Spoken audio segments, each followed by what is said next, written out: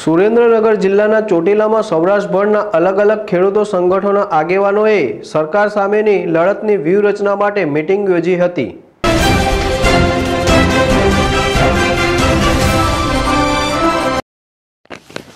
ચોટીલામાં ધારાસભ્ય ઋત્વિકભાઈ મકવાણા તથા ખેડૂત આગેવાન પાલભાઈ આંબલિયા, રામકુભાઈ કરપડા, રમેશભાઈ હાપલિયા, રતનસિંહ ડોડિયા તથા ગિરધરભાઈ વકીલની હાજરીમાં સૌરાષ્ટ્રભરના અલગ અલગ સંગઠનોને એક મંચ ઉપર લાવી સરકાર સામે પાક વીમા મુદ્દે લડતની વ્યૂહરચના માટે મિટિંગ યોજવામાં આવી હતી, જેમાં પ્રધાનમંત્રી ફસલ યોજનાની ગાઈડલાઇનમાં ફેરફાર તથા દરેક તાલુકામાં વીમા કંપનીની ઓફિસ ફરજિયાત હોવી જોઈએ તેવી રજૂઆત સરકારશ્રીને કરવામાં આવશે.